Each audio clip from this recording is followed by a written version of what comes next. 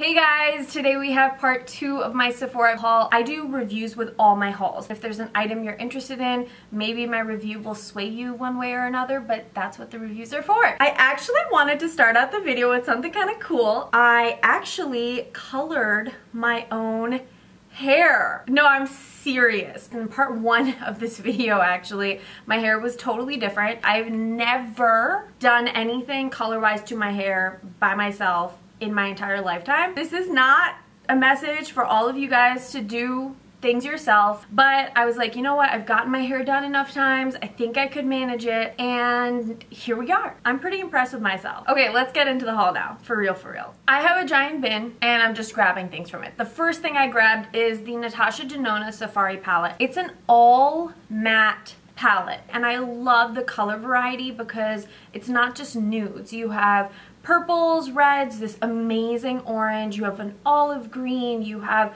blues, just a lot of variety to play with as well as colors in different depths. So you have super dark colors, you have medium tone colors, and then lighter colors. This is just a really great all-in-one palette. I think these eyeshadows just blend like a dream. Just like all the other Natasha Denona colors and palettes, I'm absolutely in love with this one. I am wearing on my eyes, I'm wearing like literally everything I talk about on my face and everything that's on my face will be in the info box down below. If you are looking for a matte palette that's something a little more unique, I would suggest it. Natasha Denona is extremely expensive. I personally think she's worth it. Like look at that blue. That's so stunning. You can create a lot of really beautiful looks by itself, but also as an accompaniment to literally any look. The next palette is another Natasha Denona one. It is the Natasha Denona Gold palette. You guys are gonna hate me because I got a lot of things that were just,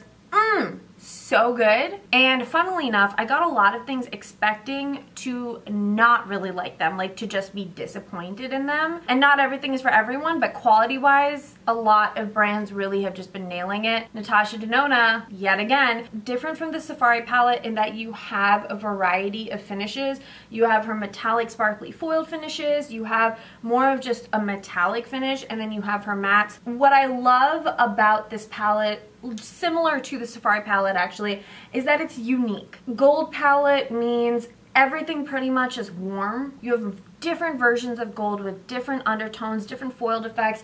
Um, this one right here actually has like a shift, which you can kind of see when I tilt it, I think, of like a greeny copper brown. I feel like it's a waste of a palette if all the eyeshadows are too similar and everything you do with the palette looks the same. There's really no point. Like look at that one. How insane. It's literally three different shades. They blend so well. You need the tiniest touch on your brush and they stay on really all day. Like they're very, very pigmented, which makes it worth it to me. This is the Natasha Denona Cranberry palette. Also expensive, okay, but more affordable than the Giant palettes and just the quality guys. It's so crazy. I try a lot of stuff.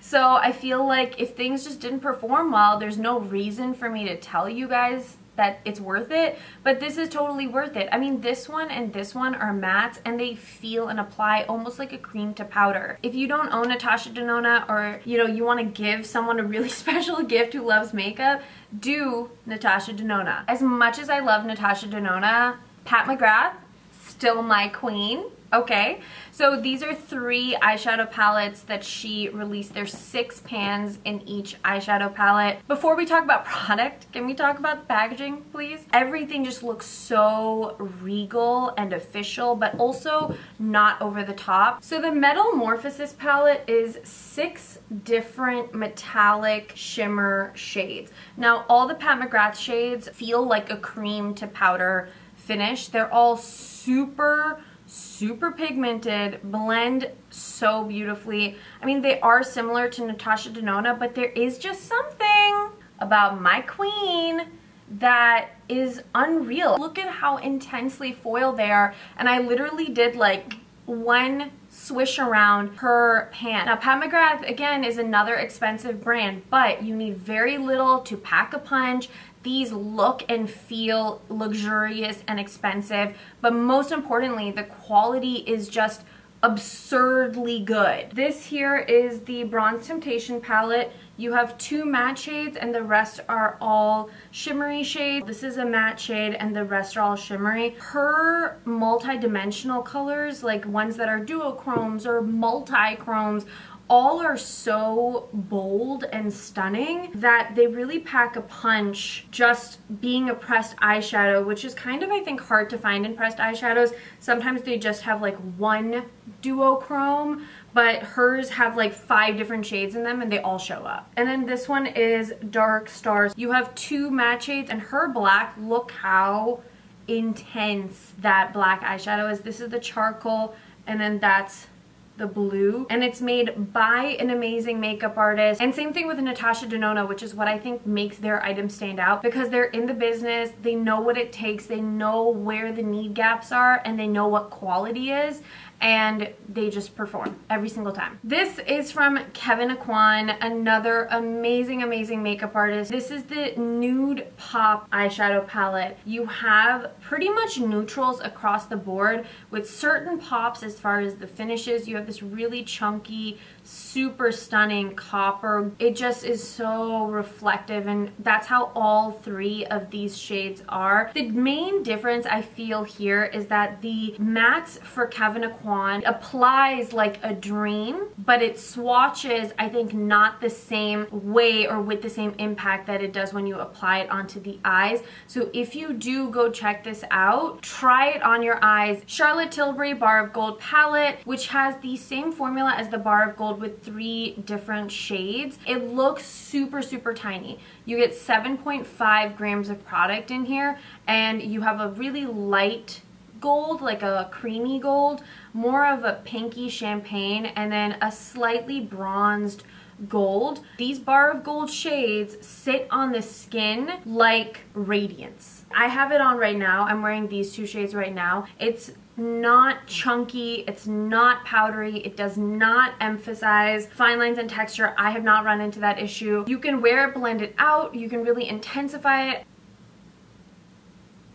Like you can really get to this blinding highlight. I really love this formula. I think it is overpriced. However, I will still use this. If she comes out with more shades, I will most likely try them. It is beautiful product. This is in the shade Uncuffed. This is actually my first Stunna lip paint from Fenty. Not only is this color amazing, this formula is so beautiful. It feels kind of watery and then it dries down into a matte. It is very, very thin and it feels like nothing's on the lips. Now, if you have dry lips or if you live in an area that is drier or colder, I would suggest wearing lip balm before you apply this or bringing lip balm and you can put it on top of this. It's not a typical doe foot applicator. It almost looks like it has like a flattened ball at the top, but one swipe and that's the coverage you get and that's the shade Uncuffed. These little things are so stinking cute but also really good quality. They're the Kaja eyeshadow like trio powers. I don't know. This is a brand that's new to Sephora. Each one of these comes with a little mirror here and then three different eyeshadows that are all in the same compact, which I think are so cute. Now heads up, all of these eyeshadows and all of these little towers are shimmery, glittery, none of them are matte. But this is such an amazing accompaniment and also so pretty to just blend all over the lid and slightly up into the crease and put mascara on. So this trio is rose water and look how pigmented they are. The bouncy effect makes them look wet. They look amazing on top of other eyeshadows. That's how I've been using these the most. This one is Sparkling Rose and then this one is Orange Blossom.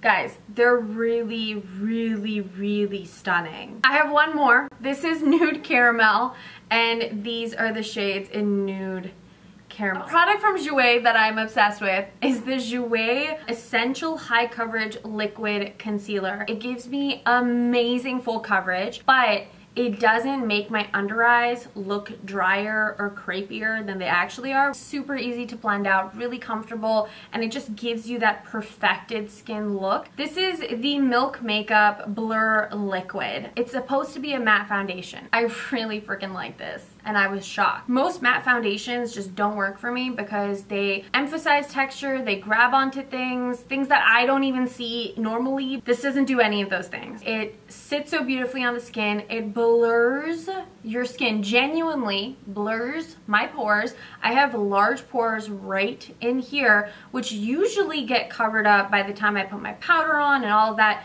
But this alone, every single time I wear it, my skin looks so even.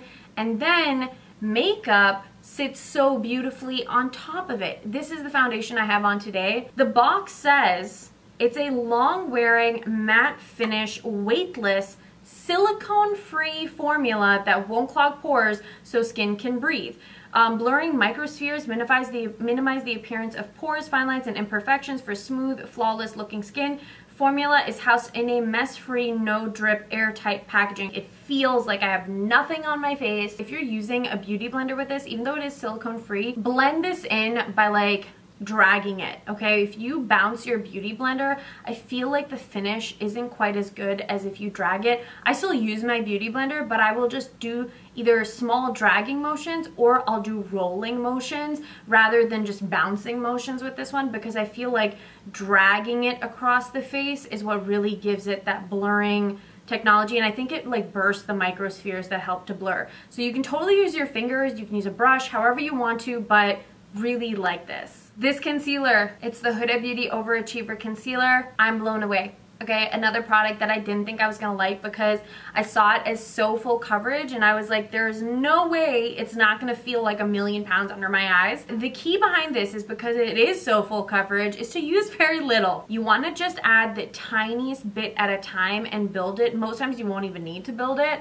um, because it is highly emollient, which means that it blends out so, so beautifully. Like it just melts into the skin. It is super full coverage. I have never had this much coverage when I've put on this little amount of product. It's super long wearing, it doesn't crease under my eyes. This one has a metal tip applicator, which I think is cool. It's cooling, so when you're applying it, it helps with circulation and kind of cools the eye area, so if you have any puffiness, it just feels really nice on your eyes. This is the Giorgio Armani Neo Nude Fusion Powder Foundation. It's a very expensive powder. It's Giorgio Armani. It gave me the idea that it was going to be great for dry skin because it was going to be super creamy and almost hydrating on the skin. And it kind of is. This is what the powder inside looks like. I have mine in the shade 5.5. The only thing I don't like about this is that there's not enough shades. Feels like a cream you get pretty decent coverage. Like I think it's definitely buildable if you were to use like a denser brush. It has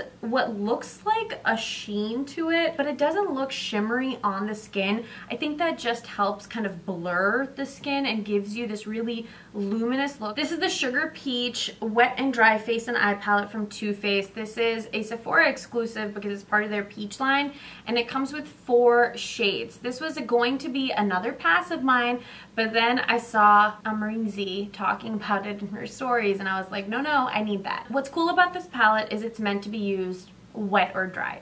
Personally, I haven't really used it wet because I don't see the need to. The powders are incredibly pigmented and they're so stinking buttery. Brands are just getting it. You know, they're just getting it. The bit, whoa, what was that? Um, my favorite way to use these is as highlighters or blush toppers primarily. This peach one has glitters in it, but the glitters don't really translate onto the skin. They actually just kind of like flop around, which I'm not a huge fan of. This is not an absolute necessity, but it is beautiful and you do get a variety in one palette. This is the Tom Ford Traceless Foundation Stick. I love Tom Ford. I think that they have really amazing product and stuff that I wasn't a huge fan of previously, they have revamped and it is now in fact incredible and I love everything, which sucks because Tom Ford is so expensive. Their foundations are beautiful. They look like skin, feel like skin, act like skin, and the Traceless Foundation Stick is no exception. This is in the shade 5.5. It glides on, it stays on, it gives me really nice coverage, but it's totally buildable. It kind of gives you a velvet finish, which I like because if you have oily skin, I still think you can use this because it does dry down to that velvety finish. But if you have dry skin, if you make sure you're exfoliated and hydrated, you'll be fine and you can still use this. I have combo skin, especially in the winter, and I haven't had an issue with this. Plus it looks so luxe because it's Tom Ford. This is disgusting because I just used it today. Um, also from Pat McGrath. This is her Highlight Balm Stick Duo. I have mine, I believe in the shade Gold. Um, what is this called? Golden Skin Fetish Highlighter Plus Balm Duo. The reason why I really enjoy the Pat McGrath formula though is because it sits on the skin beautifully and it can be applied over powder even. It doesn't move what's underneath. It has a drier cream feeling, so once it sets, it feels like nothing is on the skin. And when you put powder over it, it doesn't catch, it doesn't pull patchy, it doesn't soak up the powder because of the texture. And then this is the balm side, which I think is really cool. It just gives your skin a natural gloss, which is great if you are doing kind of an editorial look or if you have no makeup on at all and you just wanted to give yourself a natural looking highlight, it's an awesome duo that works a lot of different ways. This is a Shiseido uh, Minimalist Whipped Powder Blush. So Shiseido just did a massive rehaul overhaul, rehaul of their brand and they came out with all these amazing new items including this whipped blush.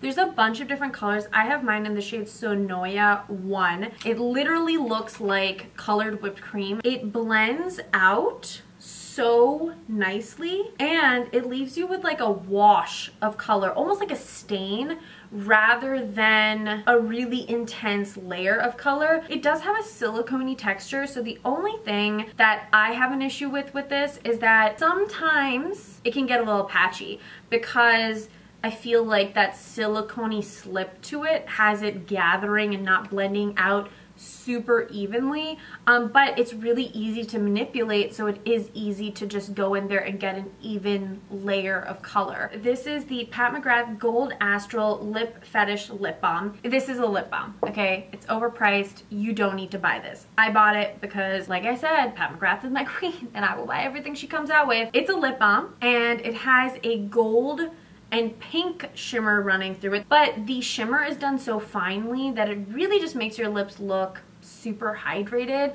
It is a nice lip balm. Is this my absolute favorite lip balm? Absolutely not. Do I feel super chic whipping this out in public and reapplying it? 100%. Do I reapply it more because of that reason? Yes, I do. It is a really pretty color on the lips, especially if you're not wearing anything. I'm not gonna lie, Fenty Gloss Bomb is my go-to as far as just like my throw-on lip color, but this was just something I had to have. And it comes in a bunch of different colors. This is one of her newer Nude Romantique 071 is the shade, but it's the Blitz Trance lipstick. So this is a highly metallic lipstick and this is what this shade looks like. So it's a bright corally shade and it has tons of gold glitter flecks running through it. I think this in the summer is going to look super gorgeous. Her Luxe Trance and her Matte Trance lipsticks, some of my favorite lipstick formulas, period.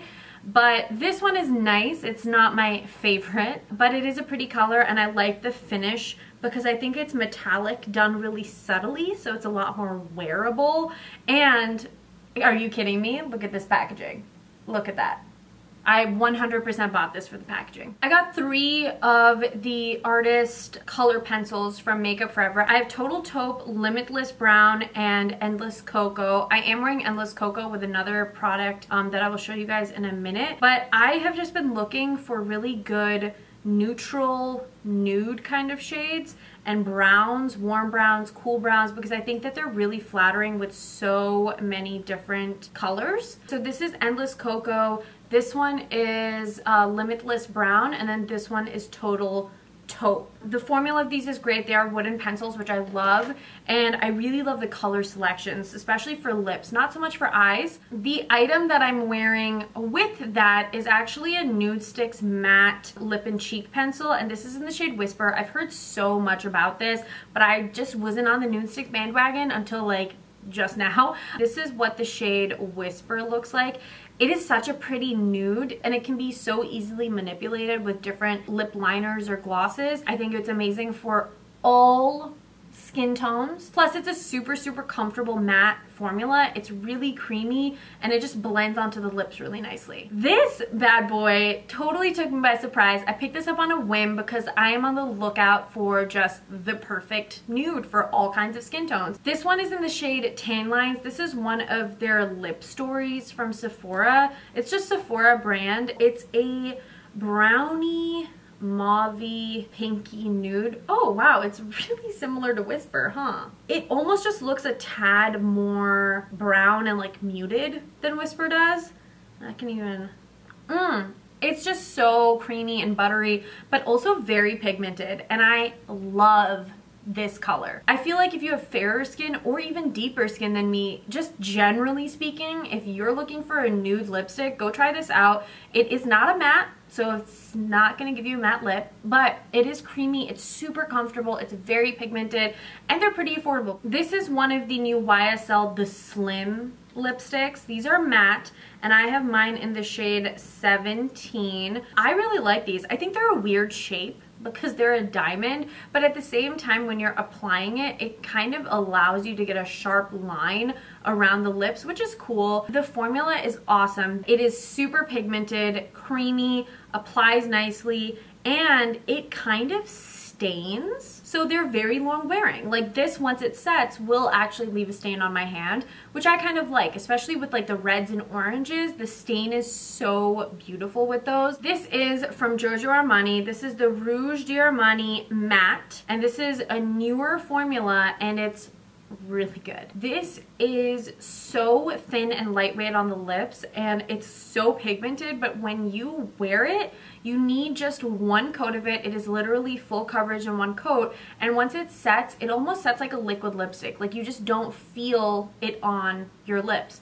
So this here is in the shade 501 and they touch up really nicely. They're not going to build up and feel kind of crusty or flaky. And if you have drier lips, this is definitely not going to emphasize any kind of dryness or enhanced dryness on your lips either. Neither is the YSL one actually. They're both pretty like moussey matte formulas almost. This is from Dior. It's the Rouge Dior Ultra Rouge and I have mine in the shade 325 Ultra Tender. This is pretty much a full coverage classic cream lipstick. I felt like Dior used to have these and I don't know if this is what replaced those I hope it didn't because there were some other colors there that I really, really loved. But this is just such a pretty nude. Neutral, middle of the road nude, into it, really comfortable on the lips. Not incredibly long wearing because it is a thinner, creamier, almost hydrating formula. Um, but it looks amazing on the lips because it is a creamy hydrating formula. the last item is so expensive. Mm, but I had to do it because I'm in love. This is a Kilian fragrance. To begin with, this box is so bougie. I wish my name started with K because I'm going to keep this box to put things into because it's just so cool. What I hate about myself is that in the packaging there was like this little key with a tassel and I was like, that's freaking stupid. Threw it out. This box has a lock and I literally threw the key to this lock away. Won't do that again. the fragrance that I got from Kilian is Straight to Heaven white crystal. Before I take this out, can we just look at how it's placed in here? It looks like a baby in its crib. The bottle itself is so pretty. I'm also pretty sure that these you can actually buy refills for. And the bottle on the side has all of these cool embossing. It's just details that make it look and feel very bougie. It smells like sandalwood, amber, white flower slightly. Oh my god, it's so good. Super sexy smell in my opinion. With fragrances, I would look at the notes you see online, but I would definitely like get things or go to the store, try them and spray them because online, if I read this, I was not interested. But like in person, I'm obsessed. So try things out, walk around the store and see how you feel because you may fall in love with something you didn't think you would. That brings me to the end of part two of my Sephora haul. I hope you guys enjoyed and hopefully found some of these reviews helpful. If you guys have any video requests, leave them in the comments down below and I will get to them ASAP. But until next time, thank you guys as always so much for tuning in and I'll catch you soon. Bye!